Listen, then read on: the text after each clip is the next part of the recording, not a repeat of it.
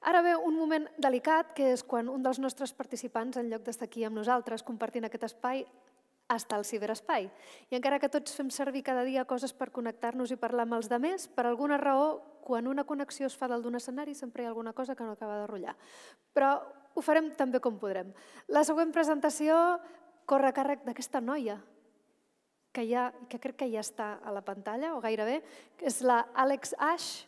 Ella és d'un col·lectiu que es diu Tactical Tech i ella des de la distància Hola. Eh, presentarà Decidim plataforma de desenvolupament. Jo ja la veig, vosaltres encara no? Sí? Doncs me'n vaig i deixo a, a l'Àlex presentant aquesta part. Hola, Àlex. Aplaudiu-la.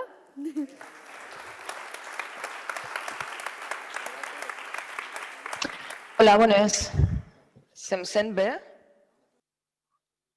Vale, bona tarda. Moltes gràcies per tenir-me. Ho sento de no poder estar present eh, físicament i gràcies a la regidoria de participació, l'Ajuntament i l'equip de Decidim. Eh, no faré la presentació en català perquè generalment no parlo d'aquests temes en català, ho sento molt. Y bueno, intentaré hacerlo como sencillo y rápido. Eh, quería empezar un poco con esa idea de que si la democracia es el gobierno de todas las personas para todas las personas, transformar este objetivo en una realidad en nuestras sociedades crecientemente conectadas, complejas y desiguales también requiere innovar en el ámbito de la llamada ciudadanía digital.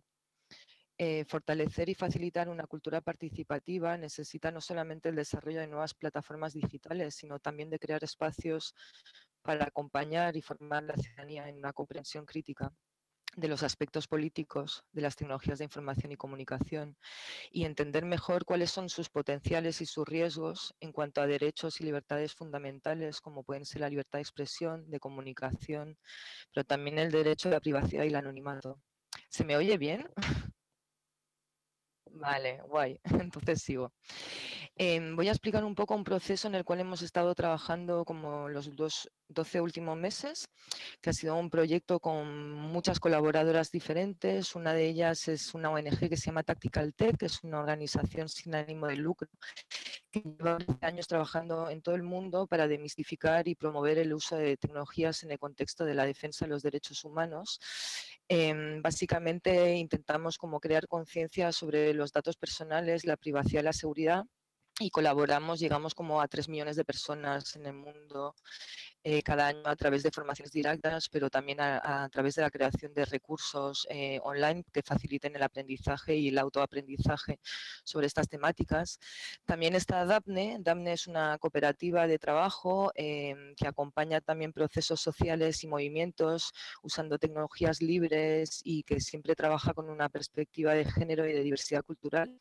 Entonces, el, proceso que nos ha llevado a, lo que voy a presentar ahora, que es un repositorio de, sesiones formativas para poder aprender cómo formar otras personas y otros públicos sobre el tema del cruce entre participación ciudadana, privacidad y seguridad hemos tenido así como varias fases. ¿no? Una de las primeras fases fue como desarrollar formaciones experimentales eh, que estaban em, llevándose a cabo en cuatro barrios de Barcelona, en el Horta Guirnadó, el, el Carmelo, Poblesec y Bac de Roda, en ese momento se impartieron casi 40 horas de formación orientada a 58 personas que pertenecían a grupos diferentes. ¿no? Estaban representantes de la sociedad civil, personas que trabajan en equipamientos socioculturales, eh, gente gran eh, jubilada y también eh, jóvenes que están en un curso de formación profesional.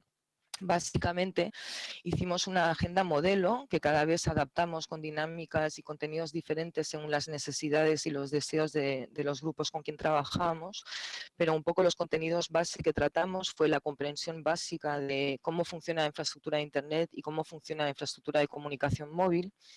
Eh, introducimos el asunto de la política de los datos, qué significa esto, qué hacen las plataformas comerciales con nuestros datos, cómo se genera negocio con ellos, cómo las personas ciudadanas eh, pueden ser actualmente monitorizadas y rastreadas con fines comerciales, pero también de control, vigilancia o censura. Eh, también trabajamos en el tema de comprender la diferencia entre el anonimato, la visibilidad, la autentificación, la confidencialidad y la integridad de los datos y las comunicaciones y obviamente trabajamos a la introducción de nuevas formas de ciudadanía y de participación facilitadas o mediadas por el uso de las tecnologías de información y comunicación. En ese sentido, estuvimos trabajando mucho sobre la plataforma de SIDIM, que eh, lo que fue interesante en ese proceso fue con cada grupo entender de qué manera ellas interpretaban esa plataforma y qué tipo de utilidad podían ver para su propia ciudadanía. Nos llevó como a entender un poco las necesidades de esos grupos diferentes en relación a una formación, un acompañamiento más prolongado a través del tiempo y eh, diseñamos como unos contenidos formativos que también estuvimos en una negociación con varias personas referentes del tejido asociativo eh, del ayuntamiento y de las estructuras eh, sociales, culturales la, de la ciudad para ver cuáles eran los contenidos que había que darle prioridad. Entonces, en ese sentido, diseñamos como un repositorio que ahora mismo cuenta con 12 sesiones. Eh, son sesiones que son orientadas a personas que ya están facilitando o procesos de participación política o capacitación al tema de las tecnologías y que tratan eh, desde aspectos metodológicos, como planificar una formación, pero también cómo orientarla ¿no? cuando estamos haciendo un proceso de educación que está más orientado a personas adultas en el tema de las tecnologías. Y luego tiene una dimensión de sesiones de creación de conciencia sobre el tema de la política de los datos, o sea, por qué tenemos atención a estos temas, de qué manera están impactando nuestra ciudadanía, nuestras libertades, pero también nuestra vida cotidiana, de qué manera se están generando nuevas formas de discriminación en base a muchos factores diferentes, ¿no? Em, y también, obviamente, tenemos sesiones de capacitación más técnica, más manos a la obra, para saber cómo, o sea, cómo se pueden elegir las aplicaciones o las alternativas que un grupo, un colectivo o una ciudadana necesita para llevar a cabo sus actividades con más privacidad, pero también dentro de un marco que no sea comercial, sino que sea respetuoso de valores éticos ¿no? Eh, compartidos. Em, entonces, en ese sentido, pues eh, se ha hecho este trabajo en los últimos meses. Actualmente está en el repositorio Git de Decidim y ahora vamos a dar otro paso. En las próximas semanas de la primera quincena de noviembre vamos a impartir dos eh, formaciones. Eh, una formación está orientada más a personas que ya capacitan en el tema tecnológico, pero puede ser no tocan tanto el tema privacidad, seguridad o no tocan tanto el tema de participación ciudadana facilitada por tecnologías. Y la otra formación está más orientada a personas que sí están en el tejido estimulando procesos de ciudadanía o de participación política, pero no, no tienen ¿no? tanta práctica o conocimiento de cómo las tecnologías les pueden eh, estimular esos procesos ¿no? y facilitarlos.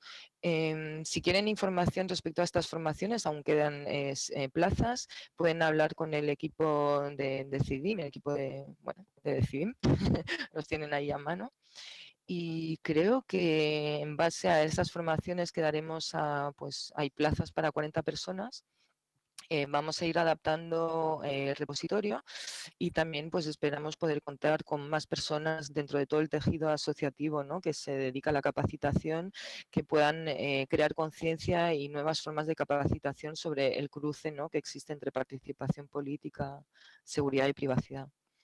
Y con esto creo que estoy en los siete minutos que se me habían impartido, no sé.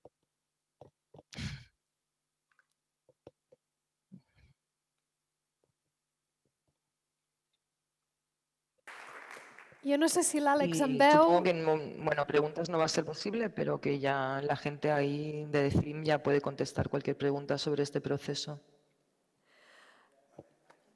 Crec que no em veu l'Àlex, però moltes gràcies. Adéu-siau.